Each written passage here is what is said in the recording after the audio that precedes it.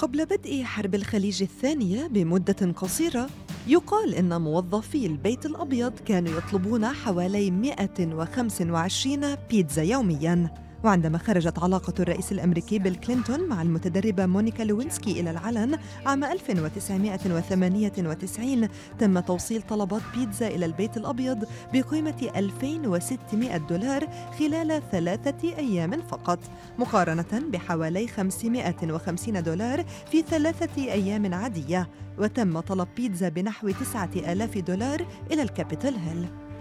والآن لاحظ المراقبون في الأيام الماضية الأخيرة ارتفاعاً كبيراً في طلبات البيتزا ليلاً من قبل موظفي المكاتب الحكومية في البيت الأبيض والبنتاغون ومقر الاستخبارات الأمريكية ومكتب التحقيقات الفيدرالية في العاصمة الأمريكية واشنطن.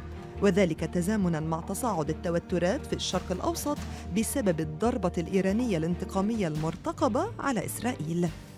فما علاقة مبيعات البيتزا بالحروب والأحداث السياسية والعسكرية الوشيكة في العالم والشرق الأوسط؟ في التسعينيات لاحظ فرانك ميكس الذي كان يمتلك 60 متجرا لبيتزا دومينوس في العاصمة واشنطن أنه قبل 72 ساعة فقط من الإعلان عن حدث سياسي كبير كانت عمليات توصيل البيتزا ترتفع بشكل مفرط ومنذ ذلك الحين أصبح مؤشر البيتزا موثوقا به إلى حد كبير على الرغم من أنه مقياس غير علمي ويستخدمه بعض الناس للسخرية والترفيه. حتى أنه يقال أن المخابرات السوفيتية قامت خلال الحرب الباردة بتعقب عمليات توصيل البيتزا المفرطة إلى موظفي الاستخبارات الأمريكية CIA كمقياس على مدى اليقظة في مواجهات الأزمات العالمية المحتملة.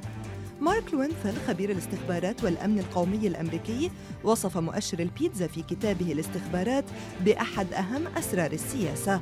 متابعو هذا المؤشر يقولون إنه عندما يعمل موظفو المكاتب الحكومية الحساسة في البنتاغون بشكل متواصل دون فترات استراحة ولساعات أطول فإنهم يلجؤون إلى طلب البيتزا من المطاعم القريبة.